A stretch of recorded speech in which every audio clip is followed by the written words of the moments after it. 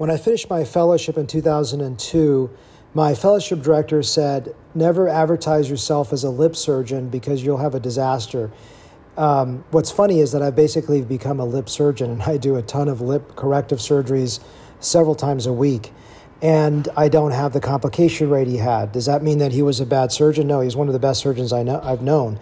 The reason why was the technology. So, back in the late 90s, early 2000s, what was really in vogue were solid implants into the lips, specifically Gore Tex, uh, SoftForm. Now there's uh, uh, silicone coated with Gore Tex.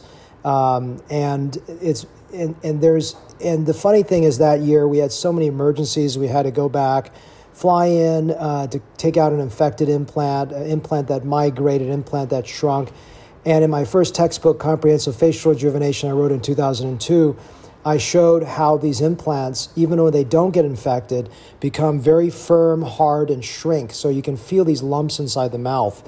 So, first of all, if you do have one of these solid implants you don't like the way it feels, the way it looks, or you don't see any benefit whatsoever, it's actually pretty easy for me to take them out. i have taken a lot of these out under a simple uh, dental block where you don't feel my, my block, your lips are totally numb, you're totally awake, you don't feel anything, and I can slip that implant out pretty well. So, if you've got one of these Gore Tex SoftForm uh, uh, implants that feel like a little rock inside your mouth, I can actually get rid of those for you pretty easily.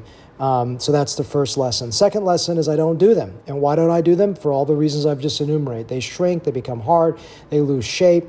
Um, and the other real reason, besides just the mechanical issues that occur with solid implants, is that they just don't look good. They don't provide volume, that you can't shape it. What's, what's great for me when I do fat grafting for a permanent solution and fillers for a temporary but oftentimes permanent, long lasting once you build it, solution for lip augmentation is that the lips, and also lip lifts, lip lifts, so these are other ways in, the right patient.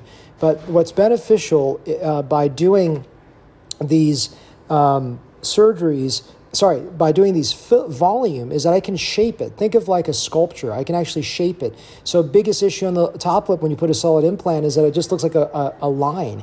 And natural lips have areas that are larger and, like in the midline where they start tapering and soften to zero on the on the outer portion bottom lips have more fullness in the center and they taper down you can't you can, simply can't do that with a solid implant it's just a, a line so this this uh, podcast is about why not to do solid implants, how to fix solid implants, um, and just to tell you that please consider either fat grafting or fillers. Now, in the past, many years ago, you may say, Dr. Lam, you poo pooed uh, fat grafting.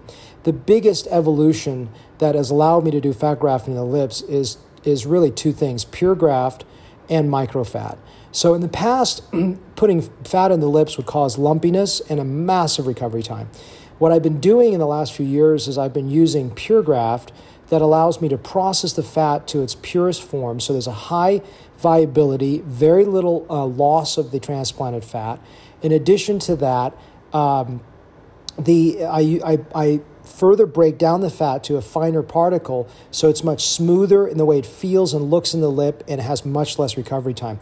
So now I think fat grafting the lips is actually an amazing viable alternative to fillers, which 10 years ago I would have said that's not the case.